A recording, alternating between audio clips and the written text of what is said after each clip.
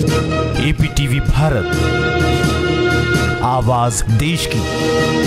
सन्यासियों के सबसे बड़े जूना अखाड़े के वरिष्ठ महंत शिवम पुरी आगामी लोकसभा चुनावों में भारतीय किसान यूनियन की ओर से मैदान में उतरेंगे। बता दें, महंत शिवम पुरी इस समय भारतीय किसान यूनियन के प्रदेश प्रभारी हैं। किसान बाहुल्य हरिद्वार लोकसभा सीट से पार्टी उन्हें उत्तराखंड आगामी लोकसभा चुनावों में उतारेगी।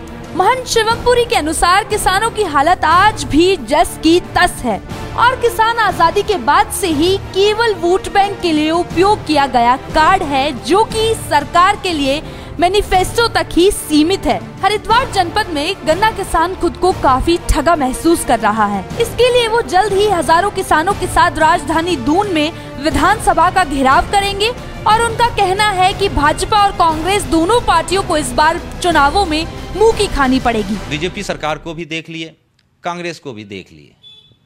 अब हमें किसी के भरोसे रहने की आवश्यकता नहीं है।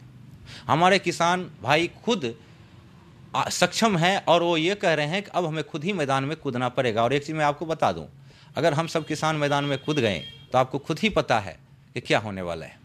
देखिए, यही तो वादा सरकार से जब भी हम मिलते हैं या हमारे संगठन मिलती है तो हमेशा वादा और तारीख देते हैं। किसान के लिए वो कुछ भी नहीं करते। हम कुछ दिन पहले देहरादून में अभी कुछ किए थे, बहुत ही ज़बरदस्त और सरकार ऐसे भय से, ऐसे हो गई थी, आपको क्या बताऊँ?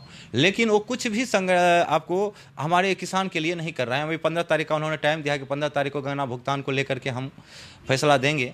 हम पंद्रह का इंतज़ार कर रहे हैं। अगर वो पंद्रह तारीख को ऐसा नहीं करते हैं तो उत्तराखंड में सीधा इस बार आपको विधानसभा की हम घेराव करने वाले हैं और बहुत जल्द ये प्रक्रिया आपकी होने वाली। और इसमें इस बार दिल्ली से भी बड़ा आंदोलन आपको उत्तराखंड देहरादून में देखने को मिलेगा। एपीटीवी भारत के लिए हरिद्वार से नरेश तोमर की रिपोर्ट।